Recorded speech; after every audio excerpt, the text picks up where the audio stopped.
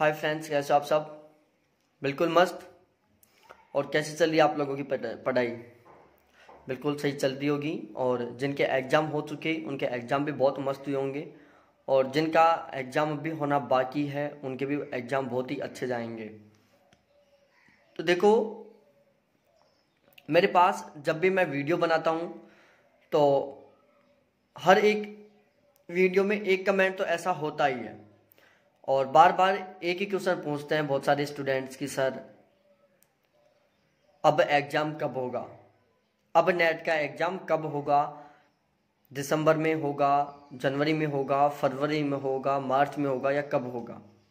ठीक है? और बहुत से ने बोला कि, सर, एक बार उसके ऊपर एक वीडियो बना दो। मेरे को कॉल करके भी बोला है कि, सर, एक बार उसके ऊपर वीडियो बना दो जिससे हमें कंफर्म हो जाए।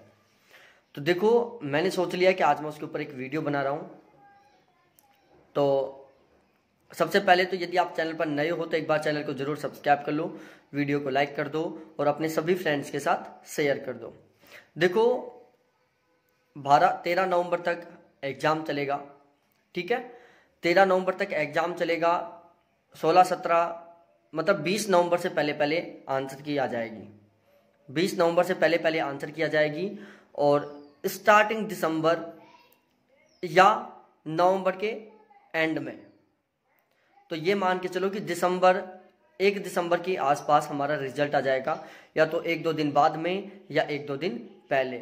लेकिन दिसंबर स्टार्टिंग में हमारा रिज़ल्ट आ चुका होगा। ठीक है? तो जो ये जून वाला नेट जेरफ का एग्ज़ाम है, इसका प्रोसेस खत्म हो जाएगा दिसंबर तक, स्टार्टिंग दिसंबर तक। अब उसके बाद में दो कंडीशन बचती हैं। देखो, नेट का रूल है, आप सभी को पता है, साल में दो बार होता है, एक बार जून में, एक बार दिसंबर में। अब जून के एग्ज़ाम के लिए टोटल सात महीने का टाइम बचता है। जनवरी, फरवरी, मार्च, अप्रैल, मई, जून छः महीने तो जनवरी से लेकर जून तक और एक महीना दिसंबर। टोटल सात महीने का टाइम बचता है जून वाले एग्ज़ाम के लिए। अब इस सात महीने के पीरियड में दो एग्ज़ाम तो हो नहीं सकते नेट के, क्योंकि देखो, एक महीने के आसपास तो फॉर्म जो भरने का टाइम होता है वो चलता है। एक महीने तक फॉर्म भरे जाते हैं। तो एक महीना तो वो हटा दो। यदि दो एग्ज़ाम करवाते हैं सात महीने में तो दो महीने तो वो हटा दो बच्चे पाँच महीने। इसके अलावा एक और होता है रूल जो बिल्कुल पहले से चला रहा है रेगुलर फॉलो करते हैं, और ऐसा होता भी है कि जिस दिन फॉर्म की लास्ट डे होती है, उससे साठ दिन बाद में एग्ज़ाम होता है। फॉर्म की लास्ट डे के साठ दिन बाद में एग्ज़ाम होता है। ठीक है? तो दोनों में यह प्रोसेस हो तो चार महीने ये हटा दो। ठीक है? साठ साठ दिन की तैयारी के लिए मिलेंगे। तो चार महीने ये हटाया, दो महीने फॉर्म के हटाए, छह महीने। दस दस दिन यदि एग्ज़ाम चलता है तो बीस दिन ये हटा दो। और इसके अलावा आंसर की भी आती है, रिज़ल्ट भी आता है और बीच में थोड़ा टाइम पीरियड भी लेते हैं ये लोग। ठीक है? तो ओवरऑल जो सात महीने का जो टाइम पीरियड है, इसमें दो एग्ज़ाम कभी भी नहीं हो सकते। दो बार एग्ज़ाम किसी भी हाल में नहीं हो सकता। ठीक है? तो जो अब एग्ज़ाम है, वो जून में ही होगा, ठीक है? क्योंकि ये मार्च, अप्रैल में करवाते हैं तो फिर आगे का शेड्यूल बिगड़ता है। सपोज़ डेट ये अप्रैल में एग्ज़ाम करवाते हैं तो फिर जून वाला एग्ज़ाम नहीं हो पाता, फिर दिसंबर वाला ही एग्ज़ाम होगा। साल में दो एग्ज़ाम ही होंगे, अगले साल केवल दो एग्ज़ाम ही होंगे। ठीक है? तो ओवरऑल ये है कि ये इस साल का तो शेड्यूल बिगड़ चुका है। इसमें ये भी कुछ नहीं कर सकते, हम भी कुछ नहीं कर सकते। लेकिन जो अगले साल वाला 2021 का जो शेड्यूल है, जून और दिसंबर वाला, उसको वो बिल्कुल भी बदलना नहीं चाहेंगे। तो इसलिए जो एग्ज़ाम है, वो अब जून में ही होगा, उससे पहले नहीं होगा। ठीक है? दूसरी बात, अब डिपेंड करता है कि भाई, जो छः परसेंट नेट पास करते थे, एक परसेंट के आसपास जे पास करते थे, जब साल में दो बार एग्ज़ाम होता था, तब ये रेशियो रहता था। अभी तक उन्होंने कोई नोटिफिकेशन नहीं डाला कि साल में केवल ही एक बार हो रहा है तो जो नेट का परसेंट है उसको बढ़ाएँगे या घटाएँगे या उतना ही रखेंगे। न ही उन्होंने इस जे के रिलेटेड कोई इन्फॉर्मेशन दी। तो बेस्ट रहे यदि साल में एक बार ही नेट करवा रहे हैं तो जो नेट का, जो पासिंग का जो रेशियो उसको थोड़ा बढ़ा दिया जाए। जेआरएफ के रेशियो को भी थोड़ा बढ़ा दिया जाए। जेआरएफ को एक पॉइंट छः या दो के आसपास कर दिया जाए। दो नहीं करे तो एक पॉइंट छः तो करना ही चाहिए, एक पॉइंट पाँच करना चाहिए, लेकिन थोड़ा बहुत बढ़ाना चाहिए।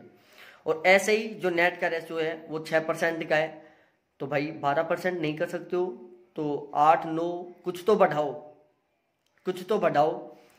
तो अब ये इनके ऊपर डिपेंड करता है कि ये बढ़ाते हैं या फिर वो छः परसेंट एक परसेंट का रेशियो रखते हैं। ठीक है? उसके अलावा, अब की बार देखो, मेरे पास कितने कैंडिडेट जुड़े हुए थे, मेरे पेड ग्रुप में। देखो फ़र्स्ट पेपर के लिए 180 कैंडिडेट थे और फ़र्स्ट पेपर और ज्योग्राफी दोनों के लिए 116 कैंडिडेट थे ठीक है?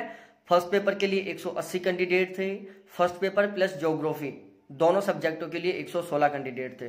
तो ऐसे कुल मिलाकर मेरे पास अब की बार टोटल दो सौ स्टूडेंट जुड़े हुए थे मेरे ग्रुपों में, जो मेरे पेड ग्रुप हैं, जहाँ पर मैं पे लेता हूँ, उनमें टोटल दो सौ छियानवे कैंडिडेट जुड़े हुए थे। अब देखते हैं कि कितने लोगों का जरफ होता है, कितने लोगों का नेट होता है। ठीक है, ये मेरा पहला ग्रुप था, मेरी फ़र्स्ट फ़र्स्ट एग्ज़ाम था मेरा ये।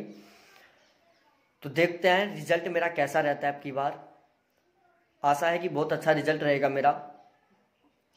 ठीक है, क्योंकि इसमें ऑलरेडी कुछ लोग नेट क्वालिफाई हैं, वो जो जेरफ के लिए प्रिपरेशन कर रहे हैं, क्योंकि मेरा ग्रुप का चार्ज ज़्यादा नहीं रहता, बिल्कुल नाम मात्र चार्ज रहता है, बिल्कुल नाम मात्र बहुत ही कम चार्ज रहता है। तो दोस्तों, अब मैं जो जून वाला जो भी एग्ज़ाम होगा, आगे जून में लेते हैं या पहले लेते हैं, मेरे हिसाब से तो जून में ही होगा। तो उस एग्ज़ाम के लिए मैं 20 नवंबर से बैच स्टार्ट कर रहा हूँ। 20 नवंबर से क्लासेस शुरू हो जाएँगी मेरी। कब से? 20 नवंबर से मेरी क्लासेज शुरू हो जाएँगी। तो यदि आप मेरे पेड क्लासेज में जुड़ना चाहते हो, अपना जेरफ निकालना चाहते हो, आपकी, अपना नेट निकालना चाहते हो तो मेरा पेड क्लासेस ज्वाइन कर लो। जोग्राफी के लिए, यदि जोग्राफी से हो तो अदर सब्जेक्ट से हो तो फ़र्स्ट पेपर के लिए। ठीक है? तो यदि आप फ़र्स्ट पेपर से के लिए ज्वाइन करना चाहो तो फ़र्स्ट पेपर के लिए ज्वाइन कर लो।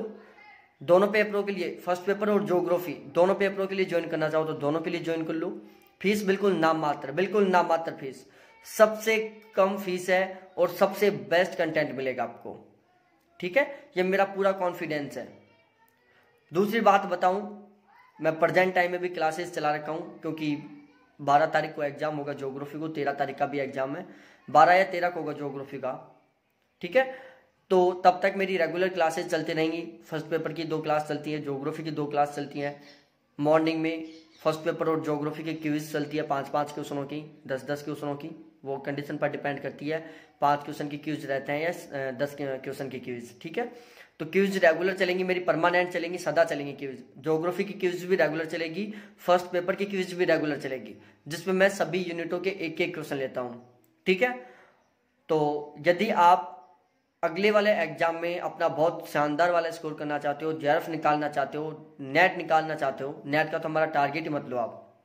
नेट का तो टारगेट हटा दो टारगेट लो जेआरएफ तो यदि आप अगले एग्ज़ाम में जेफ निकालना चाहते हो, उसमें भी बहुत शानदार वाला स्कोर करना चाहते हो तो मेरा पेड कोर्स ज़रूर ज्वाइन करें। कंप्लीट सिलेबस कराऊँगा जोग्राफी का भी कंप्लीट सिलेबस कराऊँगा ऑब्जेक्टिव डेस्क्रिप्टिव दोनों टाइप से।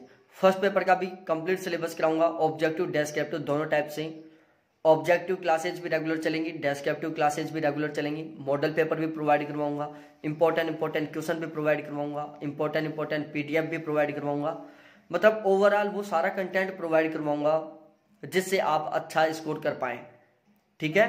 तो अभी स्टार्टिंग में मैंने फ़ीस बहुत ही कम रखी है, बिल्कुल नाम मात्र फ़ीस है।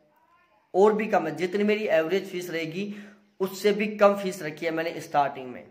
तो आप मेरी पेड क्लास ज्वाइन कर सकते हो। तो उसके लिए आप मेरे को, मेरे कॉन्टैक्ट नंबर है seven eight nine one three five zero four seven zero अठहत्तर इक्यानवे पैंतीस ज़ीरो चार सत्तर। और ये नंबर इसी वीडियो के डिस्क्रिप्शन में भी लिखे हुए हैं। तो वहाँ से आप मेरे को कॉल कर सकते हो। मेरे परमानेंट नंबर है, मेरे व्हाट्सअप नंबर है, मेरे से चैट भी कर सकते हो, मेरे को कॉल भी कर सकते हो और न्यू बैच ज्वाइन कर सकते हो। बिल्कुल नाम मात्र फ़ीस है। ठीक है? और अपना जेरफ निकालो। आपकी बार नहीं निकलता है तो अगली बार निकालो। अगली बार तो निकाल दो हंड्रेड परसेंट ठीक है?